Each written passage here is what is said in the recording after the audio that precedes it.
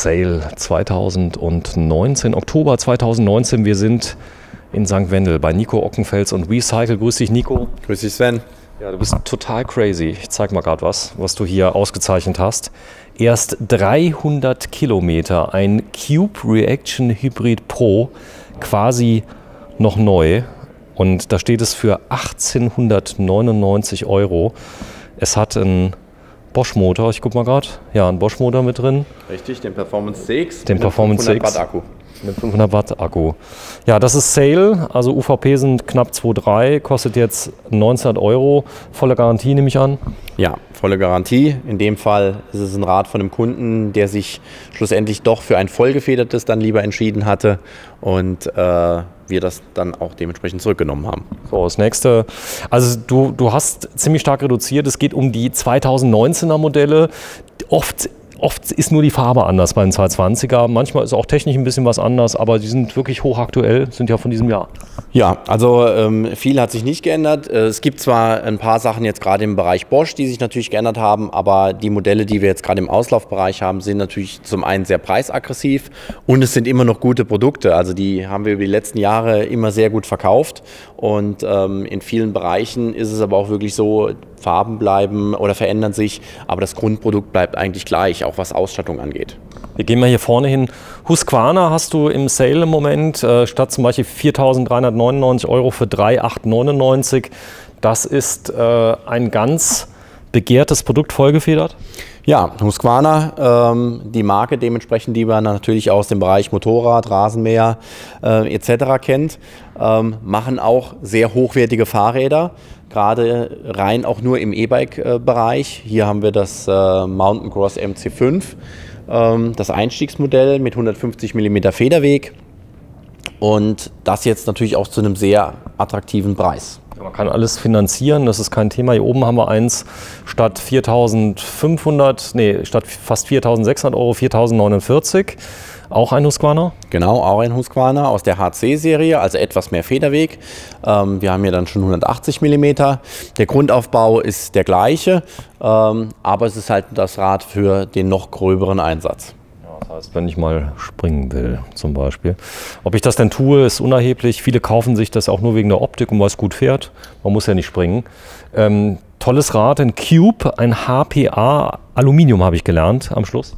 Das ist ein Aluminium, richtig. Das ist eins der letzten Stereos äh, Hybrid aus 2019. Also hier heißt es auch wirklich schnell sein, weil ähm, das ist das Einzige, was wir noch haben. Das ist jetzt auch ein großer Rahmen, ein 22 Zoll, ähm, ist mit unter anderem aber auch immer ein Rad, äh, wo nicht so oft übrig bleibt. Ähm, aber auch die Rahmengrößen bieten wir einfach an, weil es gibt große, es gibt kleine Leute. Und wir wollen ja schlussendlich auch, dass die Leute die Räder ausprobieren und fahren können. Und dann sollte das natürlich auch in der passenden Rahmengröße sein. Also es bezieht sich jetzt im Gesamten wirklich mehr noch auf wirklich Einzelstücke. Ähm, es gibt wenige Räder, die noch in mehreren Rahmengrößen da sind. Einfach ähm, mal vorbeikommen, einfach ausprobieren. Mal vorbeikommen. Man muss gucken, äh, für was sucht man ein Fahrrad. Wir haben in allen Bereichen eigentlich schon immer noch was da. Aber das können wir dann im Prinzip individuell individuell mit dem Kunden vor Ort natürlich auch anschauen. Und das natürlich in beiden Läden, sowohl hier in St. Wendel als auch in Riegelsberg. Highbike All Mountain 3.0 statt 4000 rund 400 Euro 3899. Tolles Rad. Ja, tolles Rad, auch in diesem Jahr sehr gut verkauft. Ähm, hier in dem Fall mit dem Bosch-Antrieb. Wir haben oben auch noch ein Rad mit dem Yamaha. Ähm, also auch hier wirklich alle Marken sind betroffen, weil wir brauchen jetzt schlussendlich halt auch Platz für die neuen Modelle, ähm, die jetzt so langsam eintrudeln oder auch schon da sind. Und ähm, deswegen jetzt auch die Preisreduzierungen. Ja, ganz krass. Du hast die Tiefeinsteiger reduziert, 1899 statt äh, 2200. Hier kann ich überhaupt nichts falsch machen. Scott, toller, auch ein guter Anbieter. Genau, also Einstiegsmodell. Jetzt muss man natürlich auch sagen, durch die Preisreduzierung kommen wir auch unter 2000 Euro. Das heißt, gerade für denjenigen, der sagt, mh, 2000 Euro, das ist schon viel Geld. Äh, meine Schmerzgrenze war vielleicht nur 18 oder 1900. Der kriegt jetzt im Prinzip ein hochwertiges Rad zu einem günstigeren Kurs. Ja, ein 2019er Modell mit einem Bosch Active 250 Watt äh, und einem Purion Display. Hier habe ich dann auch eine richtig tolle Schaltung auch mit drauf. Das heißt, ich habe eine Shimano-Schaltung angemessen für das Rad. Genau, hier haben wir jetzt die Einstiegsgruppe, die Acera. Also es ist in dem Sinne ein Einstiegsmodell, aber in der Wertigkeit äh, nicht anders zu den hochwertigen Modellen. Es kommt natürlich auch immer auf den Einsatzzweck drauf an. Ne? Es ist ein Unterschied, ob ich sage, ich fahre wirklich nur zwei, dreimal im Jahr. Ähm, das kann mit dem E-Bike durchaus schnell mehr werden. Oder ob ich sage, ich bin ein Vielfahrer, ich fahre jeden Tag auf die Arbeit bei Wind und Wetter, dann ist die Belastung an das Produkt natürlich eine andere. Und dann sollte ich natürlich auch jetzt nicht nur das Einstiegsmodell nehmen.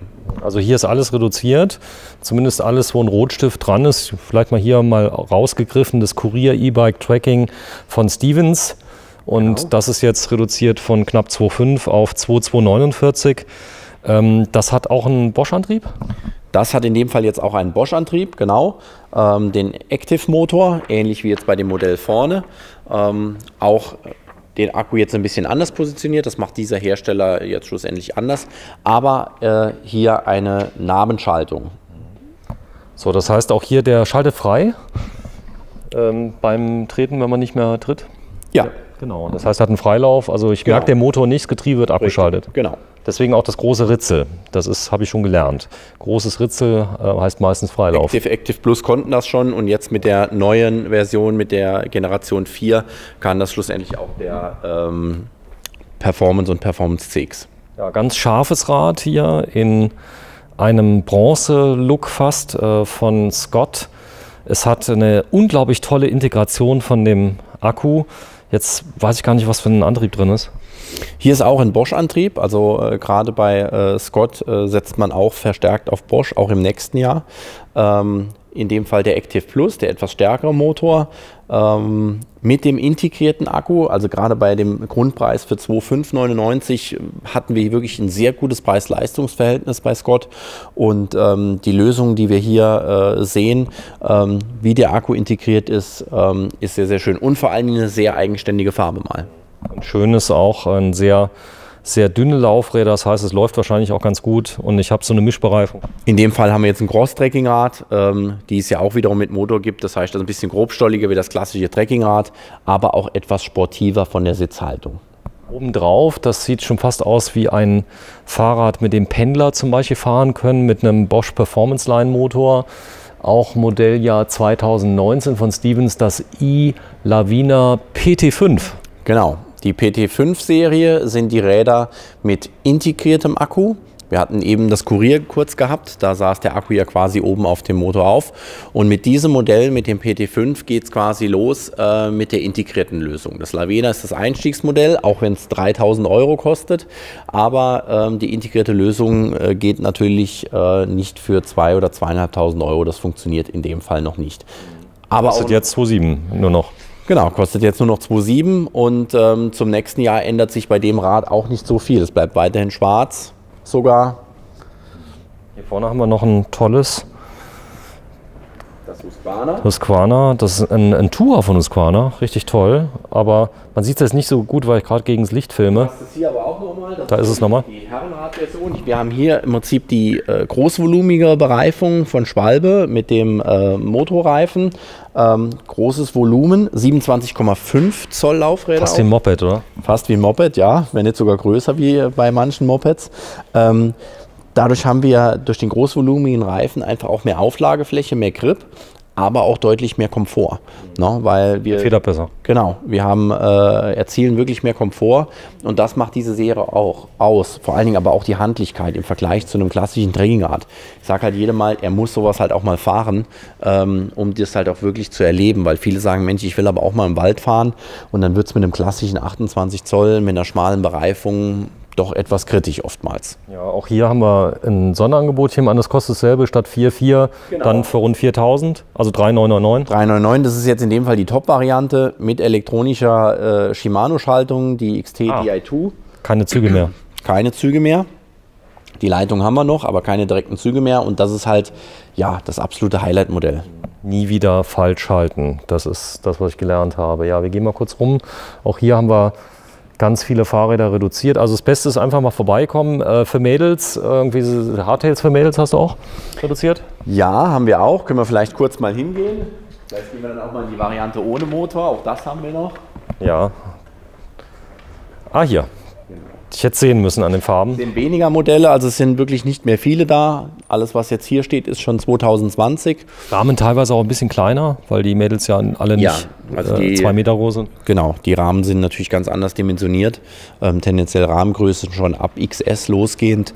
Ja, das, ah, das Hard 7 äh, Live für 2.0 für 1949. Faires Angebot. Richtig. Also äh, hier kommen wir wirklich oftmals dann bei den Einstiegsmodellen unter 2000 Euro, ähm, wo viele das als auch wirklich die Schmerzgrenze für sich irgendwo halt auch sehen. Und ähm, deswegen gerade für die Kundschaft ähm, ist es wirklich interessant, jetzt auch mal vorbeizukommen, sich zu informieren, weil ähm, nächstes Jahr wird auch noch weiterhin Rad gefahren.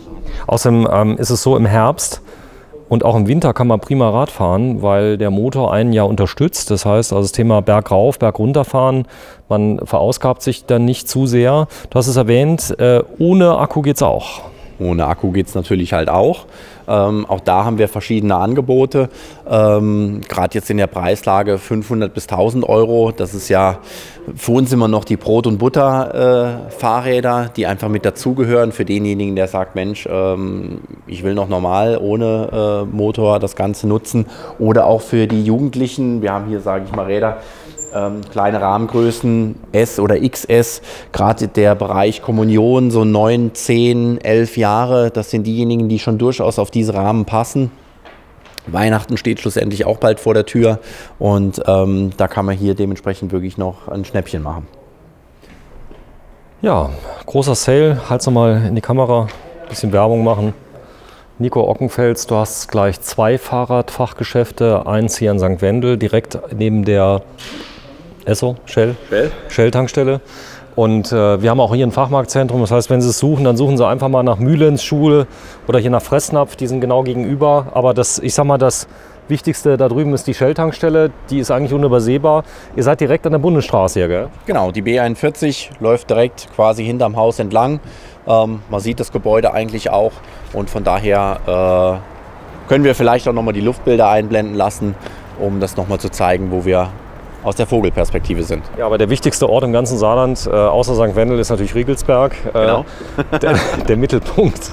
nee, Spaß beiseite. Äh, auch da ganz leicht zu finden. Äh, man muss nur nach dem großen Funkturm gucken, wo Radio Salü ausgestrahlt wird. Nee, Spaß beiseite. In Riegelsberg habt ihr einen tollen Laden, aber Ortsausgang Richtung Heusweiler. Richtung Heusweiler, genau. Äh, Kaufland ist dann knapp noch 300, 400 Meter entfernt von uns. Das kennen auch viele. Oder Riegelsberger Stumpen, für die, äh, die aus Riegelsberg kommen, auch ein Begriff. Ähm, dort findet man uns natürlich auch. Die Öffnungszeiten sind klasse, aber ich kann noch mal zu den Sale-Angeboten noch mal mehr sparen, indem ich das zum Beispiel auch als Jobrad mache. Muss ich nicht, aber dann wird es vom Bruttolohn abgezogen. Wie das funktioniert, hier steht es auch noch mal, man kann also bis zu 40 Prozent günstiger noch mal fahren. Das gilt für alles das, was Sie jetzt gesehen haben. Bitte beraten lassen, es lohnt sich. Machen noch immer mehr, muss man sagen. Ist ein bisschen Aufwand. Man kann das Rad vielleicht nicht direkt mitnehmen, aber man spart bis zu 40 Prozent. Richtig, genau. Also hier ist wirklich auch nochmal ein hohes Sparpotenzial vorhanden, gerade auch für die aktuellen Modellserien. Und ähm, da sollte man sich aber individuell beraten lassen, auch mal beim Arbeitgeber schon mal vorab anfragen, ob er das anbietet oder ihm den mal den Impuls geben, äh, dass es doch ganz schön wäre, wenn er Rahmenvertrag zu machen. Ja, das Genau. kostet auch nichts, der Rahmenvertrag. Für den Arbeitgeber ist es komplett kostenfrei. Selbst wenn er den Rahmenvertrag macht, äh, verpflichtet ihn das zu gar nichts. Also ähm, das muss man halt auch immer wissen, äh, weil viele Arbeitgeber natürlich halt auch immer sehr skeptisch sind, ähm, was es für Ich unterschreibe und dann kriege ich die Abbuchung von 100.000 Euro. Nee, es kostet gar nichts. genau äh, dubiose Machenschaften gibt.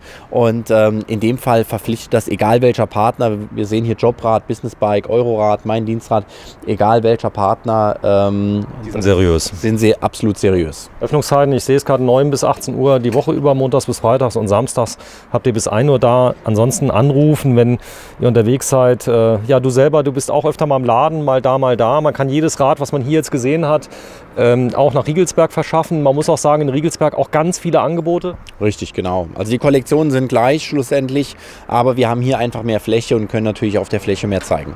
So, vielen Dank, Nico Ockenfels. Wir haben es erwähnt, WeCycle. Einfach mal googeln, da finden Sie noch ganz, ganz viele Videos. Und äh, danke. Und wenn Sie äh, Sale, halt mal die Kamera machen müssen, ja, äh, vielleicht nicht zu lange warten, denn äh, ich habe gehört, der ein oder andere guckt ja unser Fernsehen und ist auf YouTube und Facebook. Danke, tschüss. Ciao.